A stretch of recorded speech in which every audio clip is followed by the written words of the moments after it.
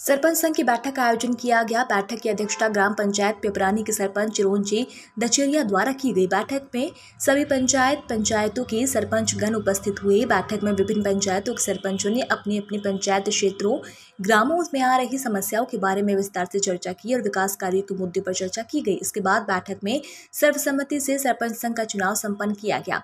सरपंच संघ का अध्यक्ष ग्राम पंचायत सिलपुरी के सरपंच श्री मुकेश मल्होत्रा के सर्वसम्मति से निर्विरोध चुना गया उपाध्यक्ष श्री चिरोंजी, दचेरिया, अंतु भील और महासचिव पद जसिया बाई हरनाथ देवरिया को चुना गया और सचिव पद पर शंकराला, भिलाला, बलराम खेलरिया, कोषाध्यक्ष वीरेंद्र डावर और महासचिव वीरेंद्र सिंह डोंगरी और अन्य पदाधिकारियों का चयन किया गया।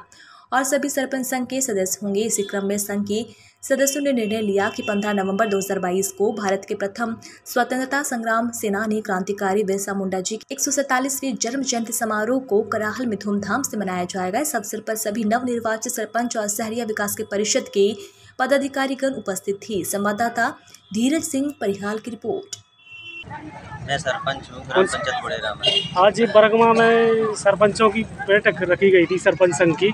तो किस विषय को लेकर रखी गई थी बैठक? इसमें जो बैठक थी इसमें सर सभी ग्राम पंचायत के सरपंचों के माध्यम से अध्यक्ष बनाए गए जिसमें निर्विरोध मुकेश मल्होत्रा जी सिलपुरी पंचायत से उनको अध्यक्ष पद पे चुना गया। इसमें सभी सरपंच उपस्थित हुए? उसमें लगभग सभी सरपंच उपस्थित हुए। एक रह गए हैं किसी कारण लेट हो गए अध्यक्ष का चुनाव हुआ कि निर्विरोध बनाया गया? इसमें चुनाव नहीं हुआ ये निर्विरोध ही बनाए गए। किसको बनाया अध्यक्ष? सरपंच संघ का। सरपंच संघ के अध्यक्ष श्री मुकेश मल्होत्रा जी को बनाया गया था। ये सिलपुरी पंचायत के सरपंच है।